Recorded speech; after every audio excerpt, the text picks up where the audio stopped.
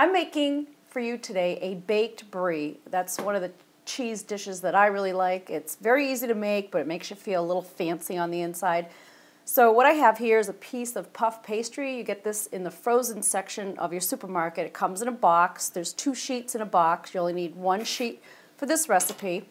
So you thought according to the directions on the package, there's a quick thaw method and then an overnight method. So choose the method that works for you. And then I just kind of roll it out so it's a little bigger than how it is when you unfold it. Not a lot, this is fine. Next I have the brie. The brie comes in a cute little wooden box like this. Um, it's always, I've only known it to be round. And you can get this in your specialty cheese section of the supermarket. Um, most supermarkets have it. So you just take it out, unwrap it, and this is the cheese. It's a nice piece of cheese. So now what I want to do is uh, you want to cut the wheel of cheese in half.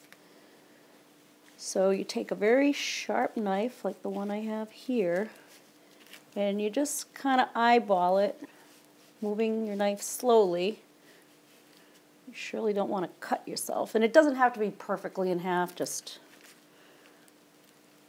no one will know. And if I can just get it through the middle, we'll be good. I'm almost there. Okay. My cheese got a little soft, but we're good. We're okay. I think I'm okay. All right, good. So we got the cheese in half. That's exactly what we want. You see it's nice and creamy. It's going to be delicious. So the next thing you want to do is take a quarter of a cup of nuts. I used pecans. You could use walnuts. Almonds I think would be really delicious, but I cho chose pecans today and I chopped them, put them on a baking sheet, and I just toasted them a little just till you start to smell them. And I have two tablespoons of honey. And I'm going to pour that over the nuts. This is fresh local honey, which you buy your local honey, it's all going to taste different, but it's all delicious. I'm good with that. Mix this up.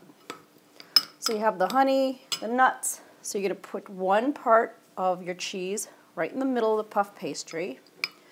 You're going to put your nuts and the honey on top. And this, you don't have to be fancy because it's all going to be wrapped inside the puff pastry.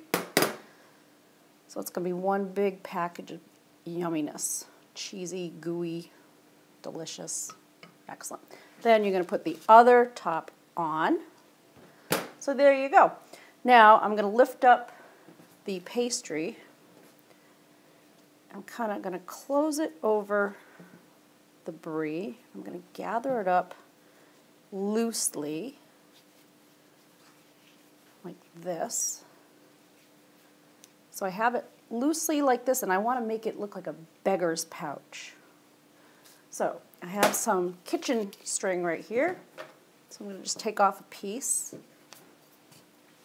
And I'm going to tie this up so when it's baking, this will stay looking like a little purse.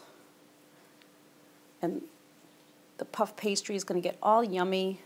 Tie a little bow. You are going to cut the string off before you serve it. You are, definitely. So here we go. Look how cute that is. And right here I have one egg mixed with a little bit of water. And I'm going to brush this. Move my baking sheet over. So it's going to bake on this little baking sheet right in the oven 400 degrees for about 30 minutes and the outside will be golden and beautiful and the inside is going to be cheesy, nutty, sweet with the honey. And I'll show you when it comes out of the oven how we're going to serve it. You could serve this many different ways. And if you don't want to do honey and nuts, you can do raspberry jam, any kind of sweet jam, apricot jam. It's all good. Okay.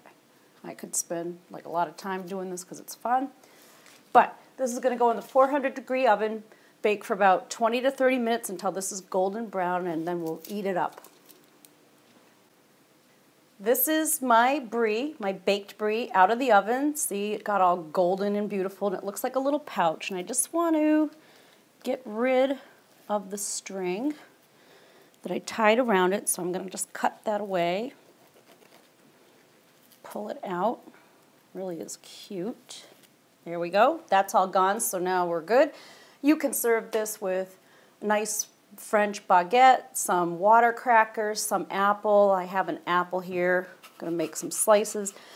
Any crackers that you like, uh, grapes, anything would be delicious. So, you know, I could just slice up this beautiful gala apple and keep putting it around my platter. But right now, what I really want to do is cut into this brie because it's kind of like a mystery in there.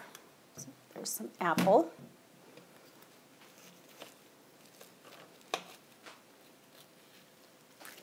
Oh. Oh boy.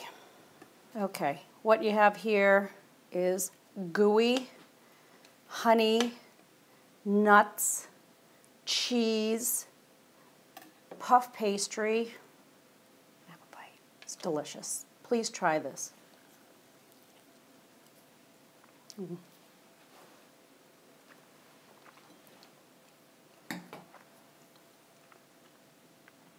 This is really, really good. Cheers.